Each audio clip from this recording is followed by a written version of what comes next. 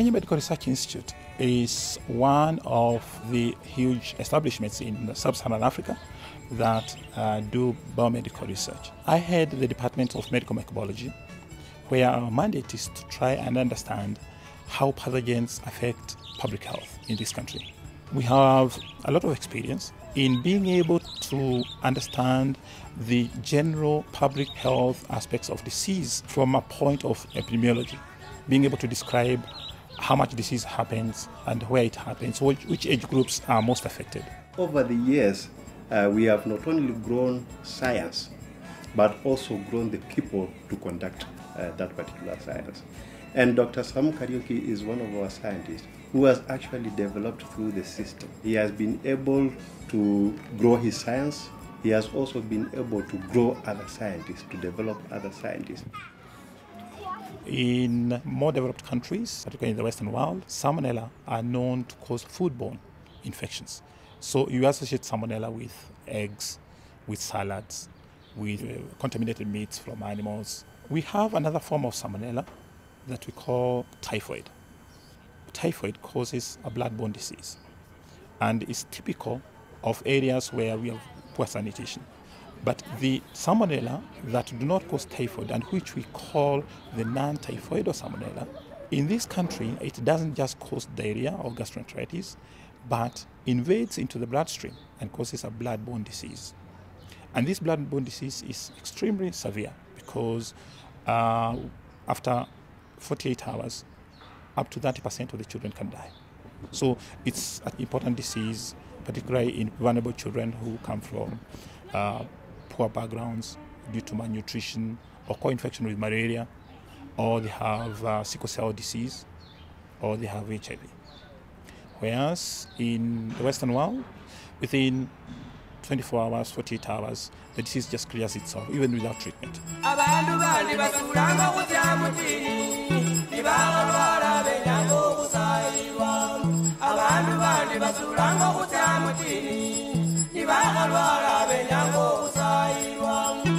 So I first really met Sam at a meeting in uh, Zomba in Malawi about 12 years ago. Sam made a presentation. And I was immediately taken and impressed by him and the sort of clarity of his his thought. And he presented a problem uh, associated with salmonella which has actually led to this prize.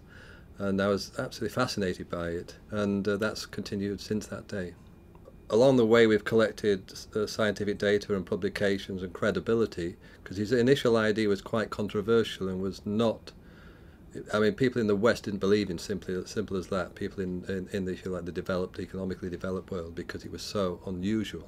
And what we've been able to do by moving uh, the focus from just a single laboratory environment a single city environment across to a pan-African environment we've been able to map the emergence of a new form of salmonella, which Sam predicted was the case, which we believe is human to human transmission rather than animal to human transmission.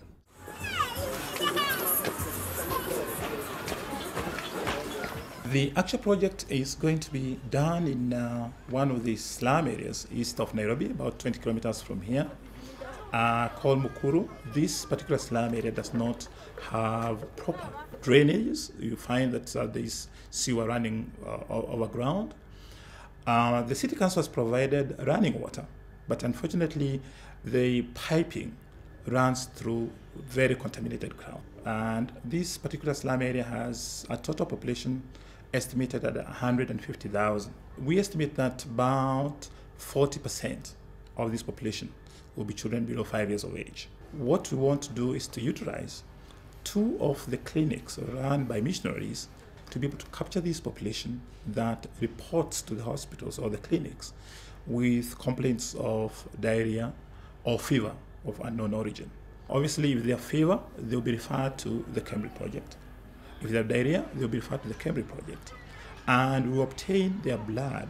Two, we'll also obtain a stool sample, and then we'll take these two specimens to the laboratory. Be able to do experiments on antibiotic sensitivity so that we can be able to tell the clinicians the number of choices of possible interventions in terms of treatment. We'll also be asking the guardians for permission to visit their homes to sample a number of areas, be they what they cook and their sources of meat, the sources of water. And the idea behind this is that in case we isolate a non-typhoidal salmonella, then we use molecular genetic methods to be able to tag the transmission of this pathogen from the environment to the human host and back to the environment. And that will be able to probably explain what are the transmission dynamics behind this disease.